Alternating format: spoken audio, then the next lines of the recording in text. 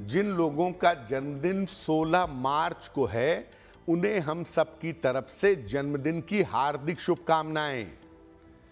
आने वाले वर्ष में आपके करियर में बदलाव और सुधार होगा। धन और संपत्ति से संबंधित लाभ के योग बन रहे हैं। स्वास्थ्य आपका कुल मिलाकर ठीक रहेगा।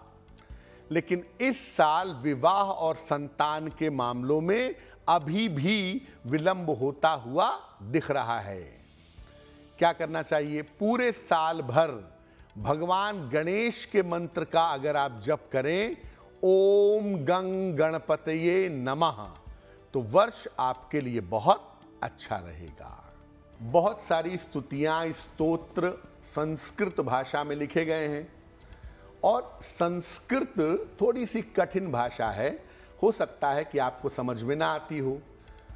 संस्कृत में लिखी गई स्तुतियाँ पढ़ने पर एक विशेष प्रभाव पैदा करती हैं। लेकिन अगर आप संस्कृत में ना पढ़ पाए तो हिंदी अनुवाद भी इसका कर सकते हैं, पढ़ सकते हैं।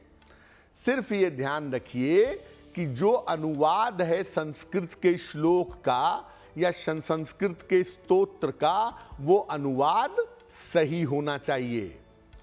अगर सही अनुवाद संस्कृत स्तोत्र का है, वो अनुवाद आप भाव के साथ पढ़ें तो आपको लाभ होगा।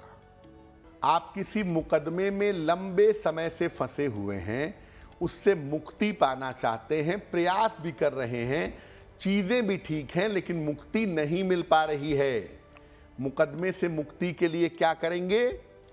अगर अकारण मुकदमे में फंस गए हैं, बिना वजह फंस गए हैं और मुक्ति नहीं मिल पा रही है तो उत्तर दिशा की तरफ़ चेहरा करके, नॉर्थ साइड की तरफ़ चेहरा करके रोज शाम को सात बार, सेवन टाइम्स हनुमान चालीसा का पाठ करिए।